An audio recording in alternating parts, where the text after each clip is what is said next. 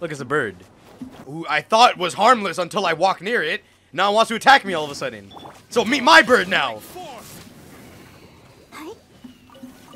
Thanks for the follow, though.